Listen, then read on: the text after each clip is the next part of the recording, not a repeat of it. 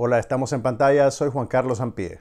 Los estudios Disney aceleran su estrategia de rehacer sus filmes clásicos para hacerlos atractivos a una nueva generación. Veamos lo que han hecho con Dumbo.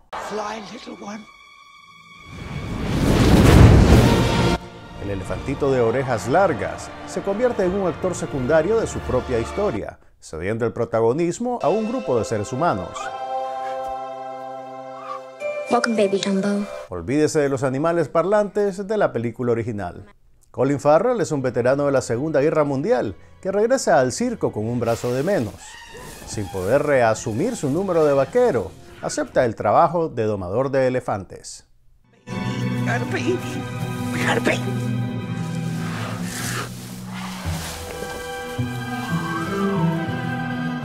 What is that? Sus dos hijos descubren que las gigantescas orejas del recién nacido Dumbo funcionan como alas. El codicioso dueño del circo, interpretado por Danny DeVito, acepta la oferta de venderle su operación a D.A. Vanderveer, un gran empresario de los parques de atracciones.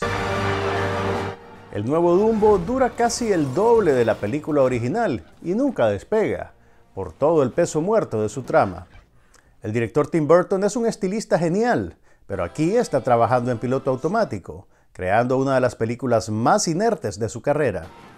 For the record, this was not my idea. Dumbo works alone. So do I. Lo mejor de todo es la química entre Colin Farrell y Eva Green, como una exótica trapecista francesa. Uno quisiera que se escaparan juntos a otra película. Your children need you to believe in them. Michael Keaton dibuja a trazos gruesos una caricatura maligna de Walt Disney. No sé si es un despliegue de ironía por parte del estudio o simplemente descaro.